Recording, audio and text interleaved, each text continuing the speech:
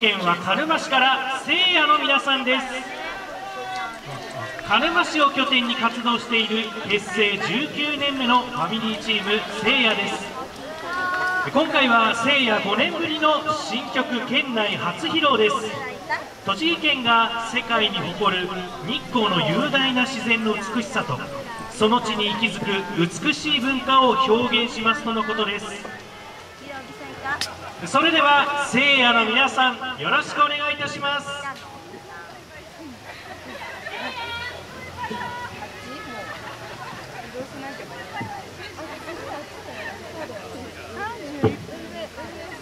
皆さんこんにちは。栃木県鹿沼市の聖夜です。栃木のよさこいを盛り上げるべく立ち上げた栃尾さん。共に立ち上げた。栃木のメンバーには大きな感謝を。そして県外から応援に来てくれたチームには心からの歓迎を込めて全力で演舞いたします。今回聖夜の新曲県内初披露となります。テーマは栃木県が世界に誇る日光。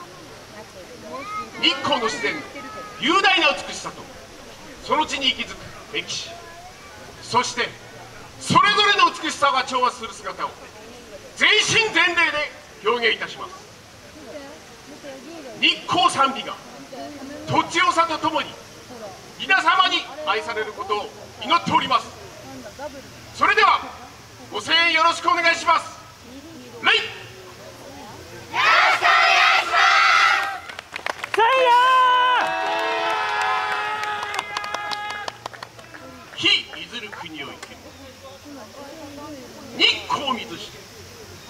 法ということだから。